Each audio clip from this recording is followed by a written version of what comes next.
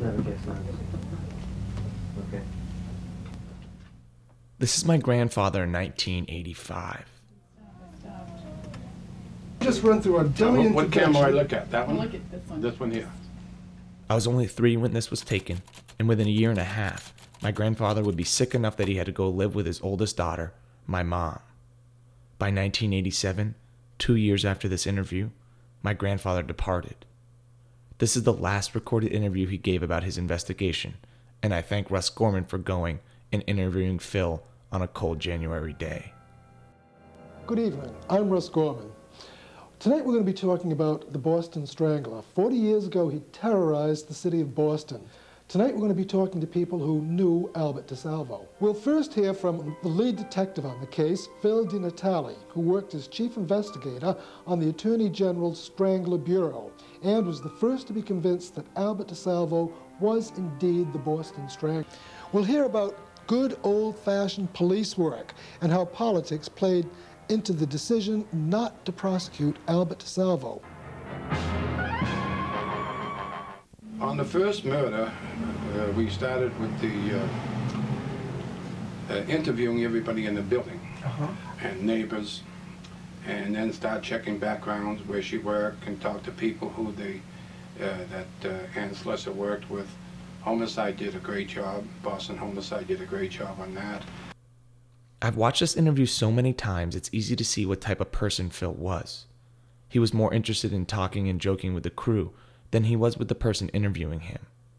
About the only time he smiled was when making a joke about a crew member's car getting towed. Wait, my car. You sure? It'll disappear around here. Okay, Russ. Okay?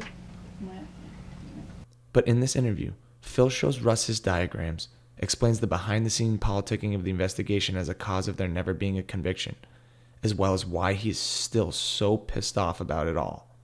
I can only imagine him rolling around in his grave to this day.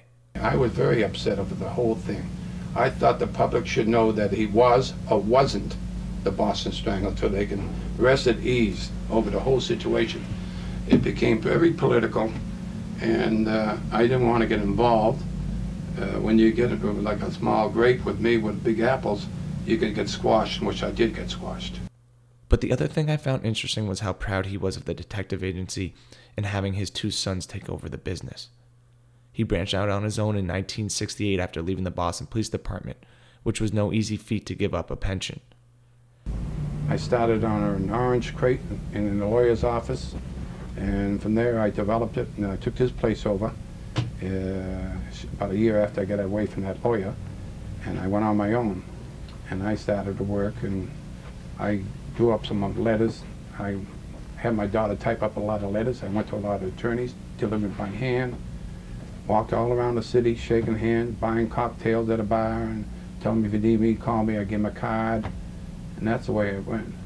And all of a sudden, that John's taking over now, and the business is doing very good.